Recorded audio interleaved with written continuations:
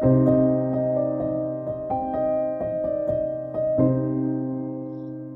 there, it's Sandy, and today I'm going to be painting with fountain pen inks and using a little bit of bleach. These are two of my big bottles of ink. Most inks don't come in giant bottles like this, but that means I need to use them. So I thought I'd try doing some painting with them. And I've done a sketch here in which I'm using some bleach on it. I've dipped a glass pen, which is really just a piece of glass shaped into a pen, dipped it into a little container of bleach, let it sit there for a second, and then lifted it off with a paper towel. It's a very easy kind of technique to do. The large blobs in the background were done using a cotton ball and the bleach. So you can apply it with lots of different things, just don't use a brush on it. The stamps I'm going to use today are from Penny Black, and they're two beautiful whales. And I'll be using these two inks that I cannot pronounce properly. I'm pretty sure I would get them wrong, so I will let you just read them on the bottles. I have a bottle of bleach, a glass pen, and a brush, which I'm only going to use on the inks. Don't use your brush with the bleach itself. So I'm going to start by putting some of the color onto a tile. You can do this on a plate, whatever kind of thing that you would like. I use tiles in my studio for lots of different things, so I keep a couple of them in the drawer. They're only like 89 cents or, you know, depending on what size, $1.29 at the hardware store and I've put water down first so the ink color will move.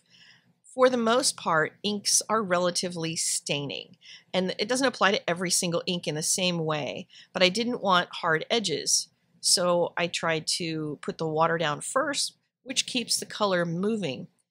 Inks are more intense in color than watercolors are. So if you want really strong, intense color, these are going to give you more of that effect watercolor tends to dry back a lot lighter or a lot more desaturated than it goes on. So inks are helpful that way. They're not very cost effective though because you need to buy a bottle of it. And sometimes those bottles can be expensive. These are high quality inks. They're going to cost a little more, but since I use them for my drawing as well, I thought I would try to do some painting with them and they worked nicely. For the underside of the whale, I used a little more water and I'll barely touch the tip of the brush to the ink so that I don't pull too much in. Out of these two colors, the stronger one is definitely the bluer one as opposed to the green. The green is a much softer color and each of them will react a little bit differently based on how much water you also use on the paper. So using lots of water underneath before painting this one. You may have noticed a little bloop by the tail. I'm going to apply some bleach to that with the glass pen and after it sits for a moment, dab that off and that will be gone. That is another nice feature of using inks. Not all inks will react to bleach, but test them out ahead of time and then you will know whether or not you can afford to goof up. On this one, I am not putting water down first. I'm just going to paint the inks themselves, see what happens. I want to watch how they blend with each other and how hard does that green edge stay. Because with some inks, they don't lift. Well, most inks don't lift, uh, meaning I can't go back in and soften it. I can go over top of it to blend an edge, but you can't really lift much of that color out unless you go to the extreme of using bleach. It's not like watercolor in that way, where you could just keep pushing it around while it's still wet. So here I'm going to add in some greens and blues together and try to mush them around a bit. The line that I got across the green was a little stronger than I wanted, so I just painted some extra green over top. That smoothed things out quite nicely, which was good. And the intensity of the color is definitely remaining. You don't tend to get a whole lot of really dark color by putting layer after layer of ink like you do with some mediums as well. So that's another benefit to painting with ink even if it's more expensive, because you need to buy a whole bottle in order to have a little bit to paint with. After finishing up the whale, I moved to the technique that I had used in the previous whale and put the water down first so I could get lighter color on the water drops as well as in the thought bubble. I'm assuming it's a thought bubble because I don't know that whales can actually say ahoy there. And if they do, you might have been consuming a little too much rum on the ship that you are in. That's quite possible. But I wanted it to be readable, so just put some very light color in there.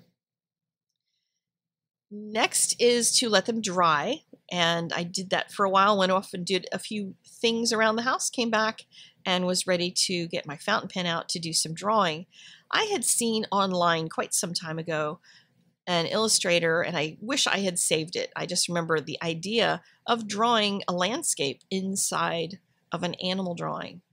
And she had done this, I assume she, no, maybe he, they had done this inside of, I think it was a wolf that I saw, some, some such. I can't quite remember what, but I want to see if it would work here because I do love drawing trees.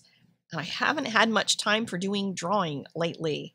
I have been a little bit busy with lots of other things, and my pens have been feeling lonesome. And when I got the inks out, my fountain pen said, Hey, wait a minute, get back here. I want to also get in on the action. If you want some tips for how to draw pine trees like these, there is a whole video on just that topic. Works for other mediums as well as fountain pen, but it's created in fountain pen. So downloadable with it as well. And speaking of drawing and pine trees and those sorts of things, I realized belatedly that I forgot to put other classes into my sale category.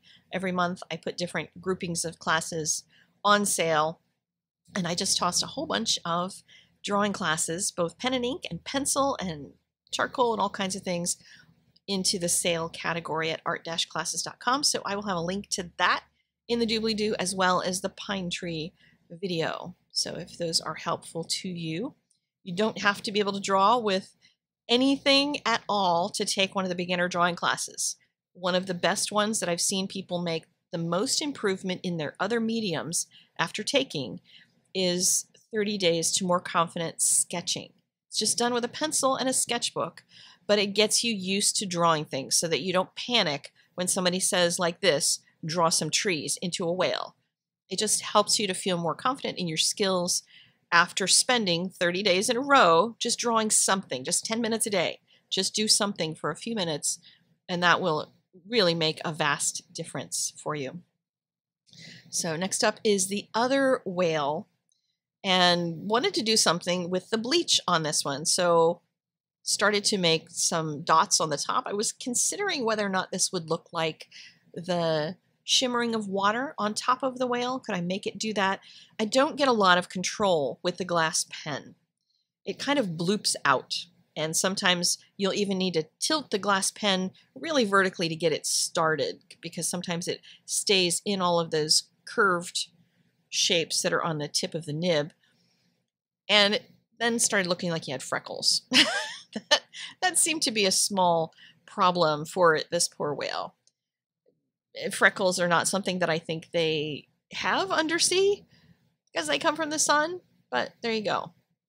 I have instead chosen to watercolor over top of it with another layer of the inks to soften that so that at least it didn't look like freckles and it came out looking a lot more like slightly dappled water, just a tiny bit underneath the color that I put for the top layer.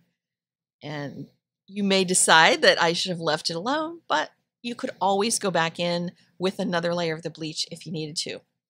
A little heads up on these, you want to make sure that you're actually using paper that can handle the bleach. So do a few tests first before you dive headstrong into a project like this. I'm using Arches watercolor paper, which holds up well. All right, that's it for me. I will see you again very soon. Take care and have a wonderful day. Links in the doobly-doo to all the stuff I talked about.